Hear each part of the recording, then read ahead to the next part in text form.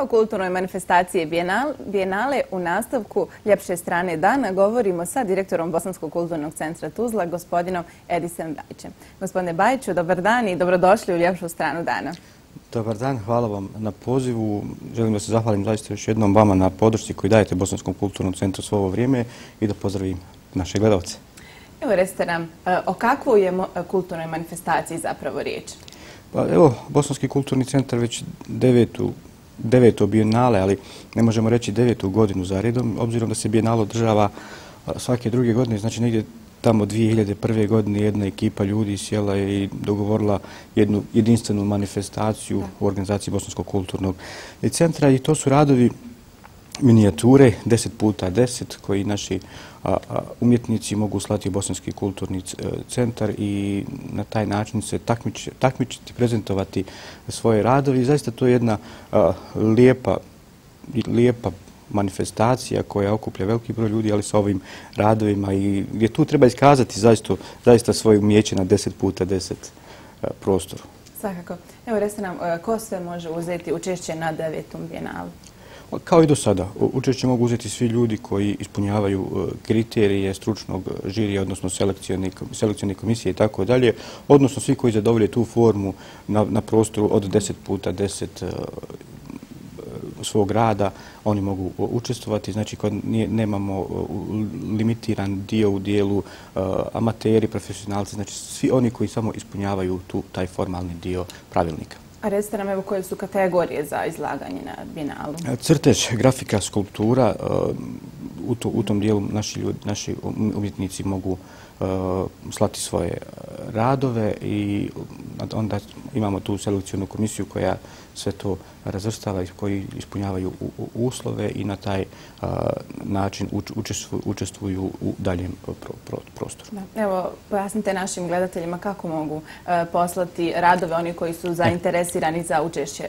Pa, mi smo imali prije nekoliko dana preskonferenciju gdje smo zvančno objavili javni poziv, mada vidimo po broju poziva koje smo imali od početka mhm. same godine, mi čini mi se da nismo trebali ni javni poziv uputiti, obzirom da naši umjetnici, naši prijatelji, saradnici znaju kada bijenale počinje, do kada sve to ide, ali evo, oni, već je javni poziv upućen i on traje do 20. augusta.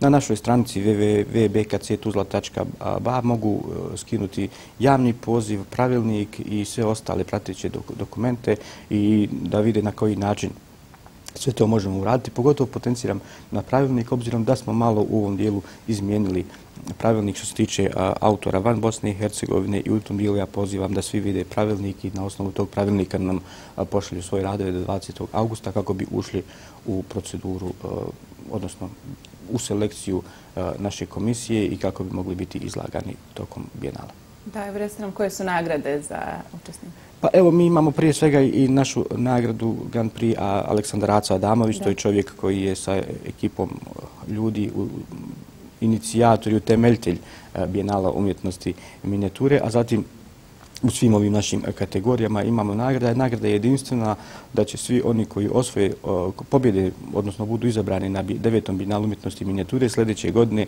imati svoje samostalne, e, samostalne izložbe u Bosanskom kulturnom centru. Da, evo recite nam kroz osam uspješno provedenih bijenala. Autori su prezentovali dostignuća umjetnosti minijature kao najstarijeg likovnog izraza uopće. Evo recite nam o dosadašnjim iskustvima s obzirom da smo imali osam ovih manifestacija. Evo koliko je bilo učesnika na dosadašnjim bijenalima, kakve su iskustva vaše? Pa prema informacijama ljudi koji su od prvog bili i evo mi u kontinuitetu koji smo preuzimali sve to od petog, šestog pa evo i do devetog bijenala umjetnosti i minijature, znamo da je to manifestacija koja zaista okuplja veliki broj umjetnika, veliki broj izlagača.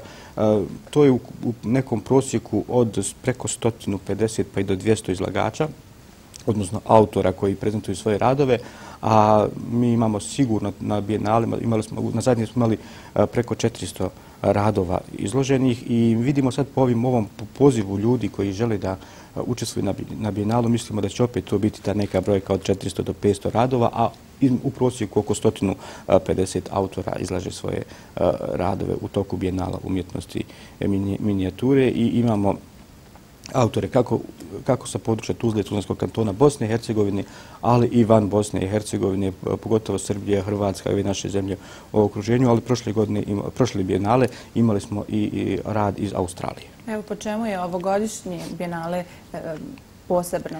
Pa, mi, mi svake godine želimo, svako bijenale želimo da unesemo neku i, i, inovativnost i tako dalje.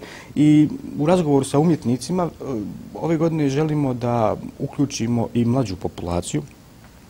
I tako, tako da smo dogovorili sa nekoliko srednjih škola i fakulteta da napravimo radionice, da uvedemo i tu mlađu ekipu E, ljudi, obzirom da mi želimo bijenale da ima svoj kontinuitet. Bosanski kulturni centar u svakom pogledu daje podršku i priliku mladim ljudima u svim svojim aktivnostima, tako i kroz bijenale umjetnosti i minijature mi želimo mladu populaciju da uvedemo u, u svijet slikarstva, u svijet crteža, u svijet bijenala, u Bosanski kulturni centar i tako da će ovo bijenale imati i tu svoju dimenziju radionice za srednje, i, srednje škole i fakultete, pa vidjet ćemo da možda i ima nekih razgovora pa da to spustimo i na osnovne škole. Jednostavno da jedan kutak bude njihov gdje će oni tokom e, bijenala umjetnosti i minijature gledati sve te radove koji budu izloženi u galeriji Bosanskog kulturnog centra, a da i oni onda prave, da sa umjetnicima uče o tome i da je onda na kraju kada budemo zatvrali devet deveto umjetnosti i minijature,